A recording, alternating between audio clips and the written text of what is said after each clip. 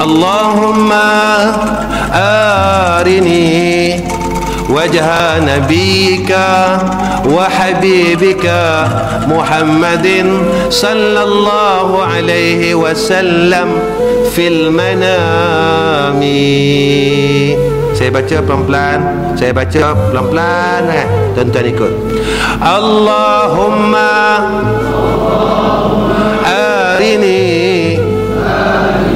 وجه نبيك وحبيبك محمد صلى الله عليه وسلم في المنام. اللهم آرني وجه نبيك وحبيبك محمد صلى الله عليه وسلم في المنام. اللهم أرني وجه نبيك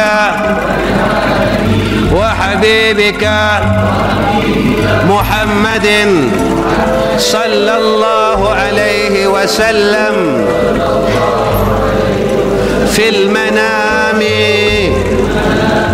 apa makna dia tuan ya Allah perlihatkan olehmu akan daku pertemukan olehmu akan daku pertontonkan olehmu akan daku wajah Nabi engkau dan kekasih engkau Sayyidina Muhammad sallallahu alaihi wasallam fil manami di dalam tidur.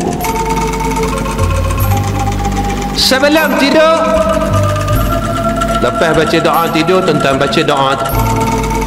Allahumma arini wajha nabiyika wa habibika Muhammadin sallallahu alaihi wasallam fil manami.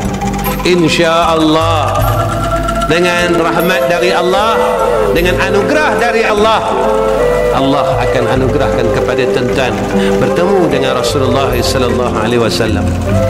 Kita ni di antara hamba Allah yang teruk. Kenapa tuan-tuan? Sampai sekarang kita tak mimpi jumpa Rasulullah. Sampai sekarang kita tak dapat Lailatul Qadar. Walhal itu adalah anugerah Allah kepada sekalian kekasih semua kekasih Allah mendapat anugerah ini. Mereka bertemu dengan Lailatul Qadar dalam hidup mereka. Mereka bertemu dengan Rasulullah di dalam